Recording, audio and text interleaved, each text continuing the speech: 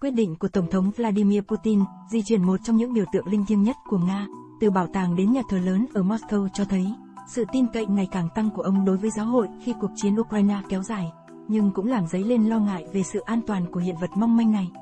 Nhấn mạnh tầm quan trọng của bức tranh đối với các tín đồ, ông Putin tháng trước đã ra lệnh chuyển bức tranh Trinity của Andrei Rublev đến nhà thờ chính thống Nga từ phòng trưng bày Chetiakov ở Moscow trong một năm. Vào Chủ nhật, lễ Chúa ba ngôi năm nay, tác phẩm nghệ thuật thế kỷ 15 sẽ được trưng bày tại nhà thờ Chúa Cứu Thế, một nhà thờ rộng lớn đã bị nổ tung dưới thời Joseph Stalin nhưng được xây dựng lại vào những năm 1990 sau khi Liên Xô sụp đổ. Việc chuyển giao biểu tượng nổi tiếng nhất của Nga, mô tả cây sồi ma mờ nơi ba thiên thần viếng thăm Abraham trong sách sáng thế, nhấn mạnh mức độ mà chính trị và tôn giáo đã trở nên đan xen trong chiến tranh.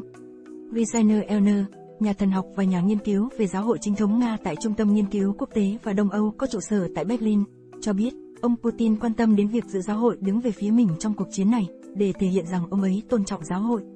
Ông Putin cần chứng tỏ rằng chiến tranh không phải là hoạt động quân sự của cá nhân ông ấy, mà có một sứ mệnh siêu hình, cao cả hơn ở Nga mà ông ấy đang cố gắng hoàn thành.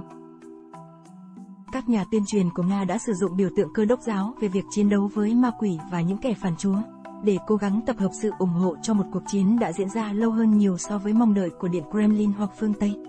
Ông Putin định hình cuộc chiến như một trận chiến vì sự sống còn của nước Nga. Phương Tây nói muốn giúp Ukraine đánh bại Nga trên chiến trường nhưng không muốn hủy diệt Nga. Ukraine cho biết họ muốn trục xuất mọi binh sĩ Nga khỏi lãnh thổ của mình. Sau khi lưu lại tượng Chúa Cứu Thế, bức ảnh sẽ được vận chuyển đến Lapra Chúa Ba Ngôi của Thánh Sagius, trung tâm tâm linh của nhà thờ chính thống Nga bên ngoài Moscow nơi bức ảnh đã được đưa vào năm ngoái cho các lễ kỷ niệm tôn giáo riêng biệt. Điện Kremlin và giáo hội từ chối bình luận. Chỉ hơn một thế kỷ kể từ khi những người Bolshevik vô thần lên nắm quyền trong cuộc cách mạng tháng 10 năm 1917, Đức Thượng phụ Kirill của Moscow và toàn Nga, người đứng đầu giáo hội, cho biết các tín đồ chỉ có thể mơ ước rằng biểu tượng sẽ được trả lại. Kirill, một đồng minh thân cận của ông Putin, coi cuộc chiến là một trận chiến, siêu hình, vì sự sống còn của nước Nga chống lại cái ác và một phương Tây suy đồi đang tìm cách tiêu diệt nước Nga. Tuy nhiên, đối với một số người, họ cảm thấy khó chịu trước sự thống trị của giáo hội và lo ngại về những thiệt hại có thể xảy ra đối với biểu tượng mỏng manh. Ksenia Korobenikova, một nhà sử học nghệ thuật người Nga, người đã lên tiếng phản đối việc chuyển nhượng trên kênh Telegram tập trung vào nghệ thuật nổi tiếng của mình, nói với Reuters rằng tầm quan trọng của biểu tượng đối với Nga ngang với bức Mona Lisa của Leonardo da Vinci đối với văn hóa châu Âu. Korobenikova bày tỏ lo ngại về điều kiện bảo quản biểu tượng, nói rằng phòng trưng bày Chetiakov có các chuyên gia, chăm sóc đặc biệt, để chăm sóc nó. Cô trầm biếm rằng các nhà lãnh đạo Nga trong nhiều thế kỷ đã trở thành biểu tượng trong những tình huống khó khăn với hy vọng chiến thắng.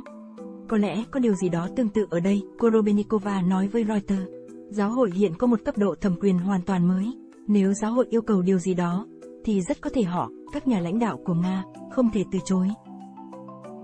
Nhà thờ cho biết các biện pháp kiểm soát cần thiết sẽ được cung cấp tại nhà thờ chính tòa ở Moscow và nhân viên Chetiakov sẽ giám sát tác phẩm nghệ thuật trong thời gian lưu lại.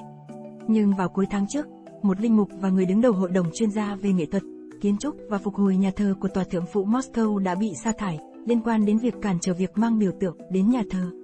Các nhà sử học nghệ thuật Nga đã lên tiếng phản đối việc dỡ bỏ bức tượng, nói rằng không có cách nào để vận chuyển an toàn tác phẩm được làm bằng gỗ hàng trăm năm tuổi và yêu cầu kiểm soát nhiệt độ và độ ẩm nghiêm ngặt trên một quãng đường dài.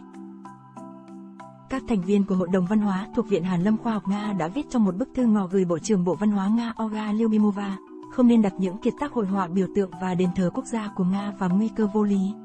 Không gian duy nhất phù hợp để đặt biểu tượng Trinity của Andrei Rublev là trong các sảnh của phòng trưng bày Chetiakov. Điều này đã được khẳng định suốt gần một thế kỷ qua. Tôi là Vũ Nga Hằng, đến từ kênh truyền thông X51. Cảm ơn các bạn đã xem bản tin.